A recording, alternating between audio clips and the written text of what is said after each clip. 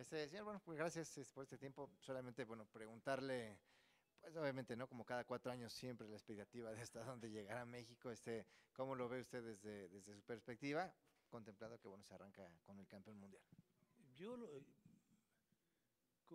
yo lo que veo es que tenemos muy buen equipo. Los jugadores son de muy buen nivel, de alto nivel, y, este, y que en cualquier momento pueden dar un susto, como se lo pueden dar a Alemania. Y ahí empieza todo, partido tras partido. ¿Y a dónde llegará México? No lo sé. No lo sé. Tiene muy buenos jugadores. Ojalá el técnico se acuerde de que es un equipo y que obviamente, como todos los equipos, hay jugadores especiales, especiales de hoy, titulares y suplentes. Entonces, en todos los equipos del mundo. Entonces, y aquí ya no sé ni quiénes son los titulares ni quiénes son los, suplentes. Yo pienso que ahí el, jugador lo resiente, lo resiente.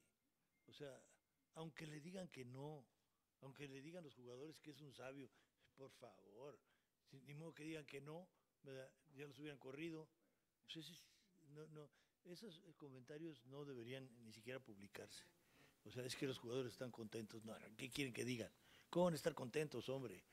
A un Vela que le estoy sacando y poniendo a un Vela, este, al mismo Lozano, al Chicharito, dice uno, no es así, yo creo que no es así. Ahora, pero todo depende de cómo va a preparar ese partido.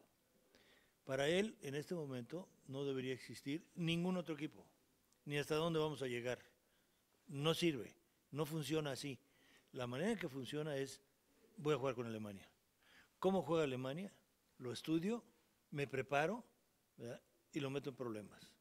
Primero lo elimino y luego le gano. Esa es la fórmula.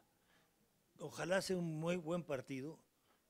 Lo de menos es el resultado, sino el partido que se juegue con, con gallardía, como, como que se unan los jugadores. Ojalá le atine a la alineación correcta para, para este partido. Ese concepto de jugarle de tú a tú eh, a cualquiera, dijo Guardado por ahí que no había que jugarle de tú a tú a Alemania, por ahí me parece que se lo malinterpretaron y que tenía lógica lo que decía, ¿no? Pero ¿cómo, cómo entender ese concepto de que México le puede jugar de igual a igual, ¿no? Es como ha dicho él. No, no, de igual a igual no, no. Es muy fácil. El fútbol es un ajedrez que se, que se juega con la cabeza y se practica con los pies. Ese es el fútbol. Y el ajedrez se juega con la cabeza y se practica con las manos. Entonces, cuando a mí me tocan las blancas, tengo que atacar. ¿Quién decide cuáles son las blancas? El que tiene la pelota. Cuando tengo las negras, tengo que defenderme. Eso es obvio. Bueno, es igual en el fútbol. Y en la, todo, no, no, sé si vieron, ojalá hayan visto, bueno, yo creo que sí vieron, este, la, la final de la Champions. O sea, cuando atacaba Liverpool se defendía con todo el Madrid, con todo.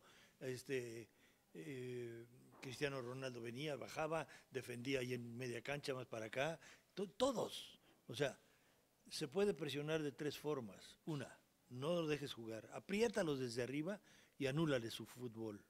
Yo creo que es lo idóneo. O sea, no lo dejes jugar, apriétalo, que salga al despeje. Entonces, eso es una. Dos, lo dejo que salga y luego lo aprieto.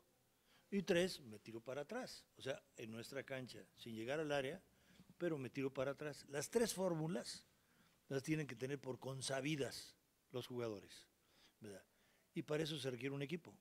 Entonces, ojalá no, no anden diciendo, ¿ahora qué hacemos? No, sino ahí mismo en la cancha tiene que salirles lo que practicaron, que salirles lo que estudiaron. Hay que estudiar al rival siempre. No se me olvida a mí, yo tenía una, la película esa de Rocky, de, creo que era de Balboa, cuando fue a pelear con un, eh, con Drago, ¿verdad? Y este, y tenía el, cuadro de Drago ahí, ¿verdad? Y se peleaba contra el, muro donde estaba la foto de este cuate. Es lo que hay que hacer.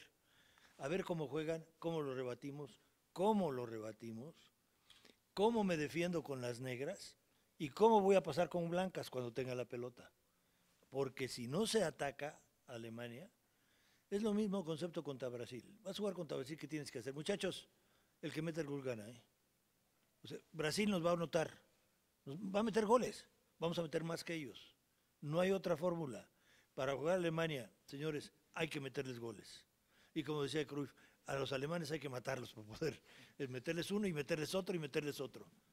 Si no salimos con esa disposición, ¿verdad? no ganamos. Punto. Podemos empatar o perder, pero no ganamos. Y la idea es siempre ganar.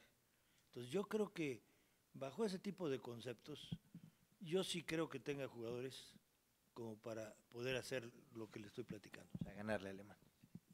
Siempre tiene que ser el intento, ganarle. O sea, y que las blancas sean mías siempre. Esa es la idea. El antecedente este del 4-1 eh, puede achicar a la selección. ¿Se imagina un partido similar o tendrá que, o será diferente totalmente? Yo creo que no debe ser similar, ni mucho menos. Yo creo que de ahí han de haber aprendido. Yo pienso que Alemania no va a cambiar, se va a jugar igual. O sea, los elementos que metió fueron los primeros seleccionados y obviamente todo el mundo se esperaba que jugaran así. Alemania es Alemania, estoy de acuerdo, consciente, y, este, y duro de vencer, pero por eso es fútbol. O sea, se juega una pelota y, y, todos tienen dos piernas, y se juega así. Entonces, y todos tienen inteligencia, y todos saben menear la pelota, y todos tienen velocidad, y todos tienen fuerza, y todos tienen coraje. O sea, no hay por qué no poder ganar. ¿Qué es un rival? ¿Superior a nosotros? Sí, sí lo es. Sin duda alguna, es superior a nosotros. ¿Qué debo hacer con el superior? Analizarlo bien, canalizar el juego por algún lado, de alguna forma, el sistema, prepararlo, y luego ganarle. Ahora, eh, mucha gente se acuerda de aquel del 98, ¿no? Eh, ¿Es una Alemania que siempre juega igual o, ve o, cambia también la selección de Alemania? ¿O es un esquema muy...? Yo creo que juegan igual. 4-2-4, 4-3-3 es, es lo que normalmente utilizan. Este, rara vez he visto que utilice un 3-4-3, que no va a utilizar, no, creo. Creo que debe salir a jugar un 4-2-4 o un 4-3-3. Depende de los jugadores que tenga. Para, obviamente, él tiene que, mostrarse cómo va a ganar. Entonces, y, México esperar que se muestre cómo. Y, y adivinar, no adivinar, sino simplemente estudiarlo cómo sale, sale jugando, no sale jugando, si sale jugando, ¿qué pasa? O sea, eh, todo eso ya lo sabe, lo debe de saber Osorio, lo debe tener por concebido, y los jugadores igual. Entonces ya para estos momentos ya no hay dudas, ya no debe haber dudas. Ya, ya se jugaron los partidos, ya probó gente, es su disposición a hacerla, estuvo bien, ya. Ahora viene la gran prueba, ahora vienen los exámenes, entonces ya, y son finales. Entonces hay que pasarlo bien. Yo creo que eso es elemental. Esto de empezar con Alemania, si es bueno, si es malo, si mejor Corea, digo, así es, es la realidad, ¿no? Este, ¿e-, ¿Es bueno empezar así? Ni es bueno ni es malo, todo lo contrario. Nos tocó Alemania. Punto. Entonces, pero no tenemos que tener en la cabeza, bueno, nosotros sí, bueno, yo no. ¿A dónde vamos a llegar? No, no. Es Alemania. Punto. Ahorita es Alemania y luego tendré tres o cuatro días para preparar mi partido, que luego será Corea. ¿Dependiendo del resultado con Alemania? No, no, no, no, no, no, para nada. No depende de los resultados. Depende del Vamos a jugar contra Alemania, hay que ganar a Alemania. Hay que intentar ganarle. ¿Cómo? Alemania, ¿quién es superior? ¿Alemania o yo? Alemania. ¿Cómo lo contrarresto? Lo contrarresto y luego le gano. Sin duda alguna. Sin dudar. Y que no duden los jugadores. Entonces, cuando se duda, se pierde. Entonces, cuando tocar, fue Alemania en el vestidor, en el vestidor ya, se habla de Corea, se acabó, lo que, como, lo que haya sido, se habla de Corea, y, Corea, y Corea, y Corea, y Corea, y así será, nadie más, ¿dónde vamos a llegar? ¿Hasta dónde voy? Ya cuando tengamos la, amarrada, saber pues cómo quedaron, quién pasó, pero no decir, ah, es que luego nos va a tocar Brasil, no, no, no, no, espérate, así no es. En el Inter de la selección no debe haber dudas de qué se trata. Y así deben de formarse. No pienses en el Mundial, piensa en Alemania. no, no, no pienses cómo quedó Rusia. Eso que nos preocupa, ocupa a nosotros, que, creo que ganó. Esto, pero, pero nada más. ¿Y la mentalidad de los mexicanos, eh, de- del futbolista mexicano, ya está lista para pelearle? Desde Ah, hace sí. mucho tiempo. Lo puede hacer bien o mal. Sobre todo, está en el técnico este, llamarlos, o sea, los convoca. Y este, obviamente ya estará después de tantos partidos, ya está con la idea que aquí no se arruga nadie. O sea, aquí no se arruga. Yo quiero puros líderes, líderes en cada puesto, o sea, gente de presencia, que es lo que se necesita, de personalidad, que no se arrugue. ¿Cómo? Pero tengo tiempo para hacerlo. Y él tuvo tres años. Yo tuve seis meses.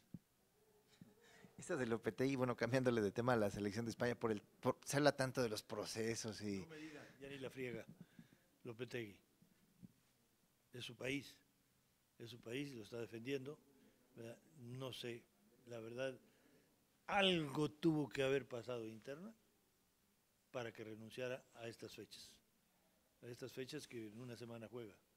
Entonces, algo que no sabemos. Ni la prensa lo sabe. Estoy seguro que algo interno pasó muy fuerte. Si no, no. No se anima el técnico a dejar así a su país.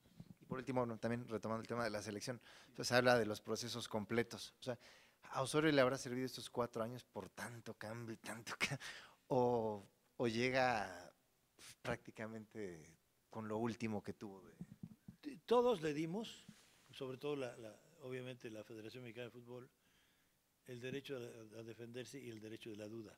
Si él los preparó, llega hasta el final. Entonces, ya va a estar allá. Lo único que yo considero es que ojalá le haya servido. Todo sirve, y más las derrotas.